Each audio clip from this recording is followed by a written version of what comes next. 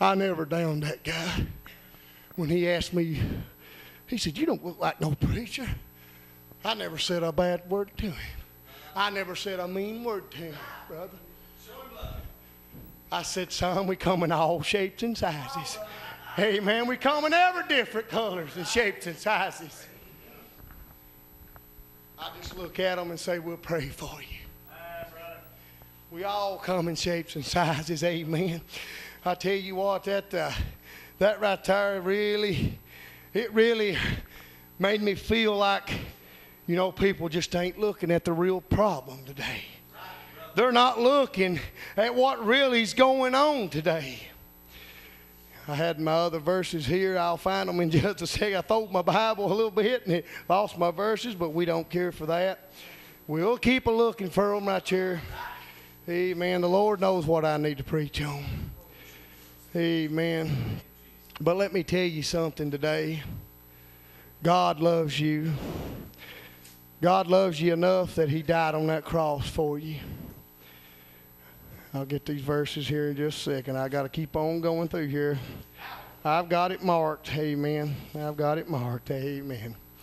Let me tell you something today. Christ, He loves you. And I know He loves me. Because before we was ever born, before we was ever born, Christ died on that cross for us. He done knew us. He knew our lives. He knowed I was going to be an old country boy. He knowed I was going to be just somebody that couldn't read real good. He knowed that. He knows. He knowed us all. He knowed everything about us. Boy, they're going to have to make this screen bigger. I run over. They're going to have to get a 52 inch screen, son. I'm all over the place. Amen. I can't help it. The Lord, He's good to me. Amen. He's good to me. Let me tell you right here what God said. Listen to what God said over here in 2 Timothy chapter 2, verses 19 through 22. I might go further, I might not go that far. We're just going to do what God gives us. Amen. He said, Nevertheless, I, will be honest with you. Listen out here what this is saying. Believe this was taken right out of what that right there, what I just read. Listen at what he's saying here. I believe that with all my heart. These two verse, these two chapters went together. Because he's telling us something here. That's why God's plan is perfect. There's no wrong in God's plan. Listen to what he said here. Nevertheless, the foundation of God standeth sure. Amen. He standeth sure. It don't matter what we think. It don't matter how we feel about other people. When it's in Christ, it's good. Amen. It is good. He said, Nevertheless, the foundation of God standeth sure. Having this seal, the Lord knoweth them that is his. Amen. He knoweth them that is his. Amen. And let everyone that nameth the name of Christ depart from iniquity. He's telling us right here to depart from iniquity. Amen. We don't need to be out running around in sin. We don't need to be out drinking with our buddies. We don't need to be out smoking pot with our buddies. Amen. We need to be in church. We need to be in fellowship with other Christians. He said we need to quit this iniquity. Now, I'm going to tell you something else. I'm not telling you that you don't need to talk to a sinner. Because I'm about as bad for that as anybody.